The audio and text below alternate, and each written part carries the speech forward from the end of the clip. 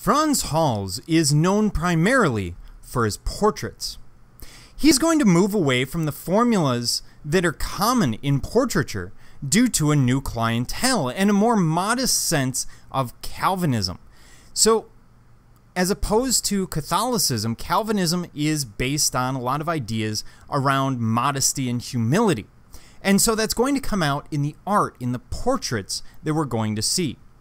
The result is a style that seems much more open and much more relaxed. Basically, he's bringing out a sense of informality.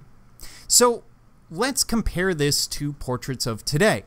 Very commonly, and here we see a portrait from some fraternity at Harvard, you get the idea of who these people are, but you have no idea.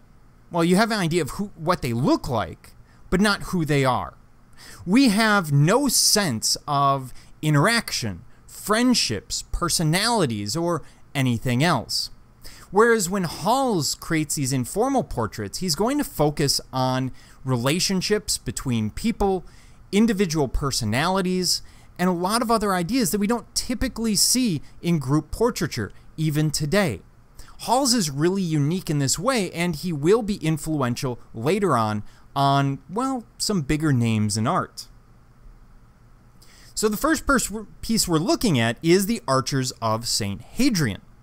Now, this canvas reflects the widespread popularity of paintings which commemorate the Dutch burghers' involvement in civic organizations. The Dutch burghers are really the predecessors to McDonald's, Wendy's, Hardy. I need to read the right notes. The Dutch burghers are basically the middle class they're heavily involved in civic organizations. And in this case, what you're actually seeing is a group of Dutch burghers who were involved in the militia companies that, that played a large role in the independence of their burgeoning nation. Now, the group portrait is generally more challenging due to the number of figures and their relationships within the work.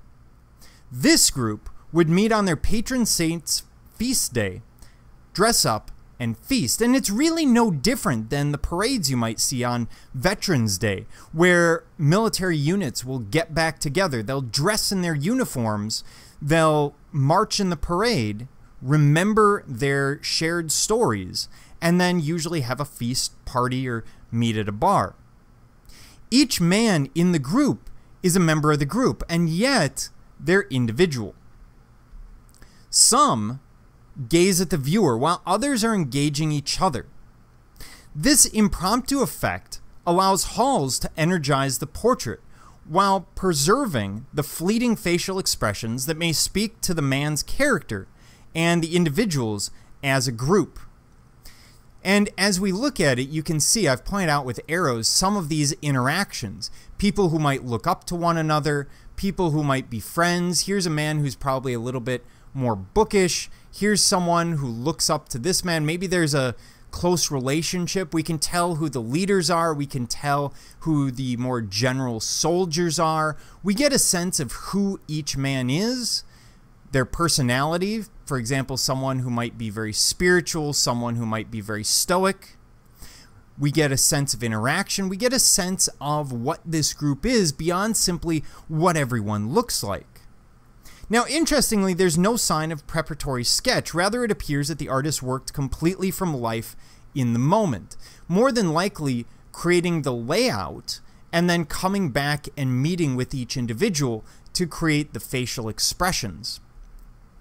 Now, interestingly, I also want to call your attention to the back. We see two people walking away, ghostly figures. These are thought to be two members of the group that had died in combat, and so they're included in the portrait, but they're these ghostly figures that aren't really part of it at this point because, of course, they aren't there for the commemoration. They died in battle.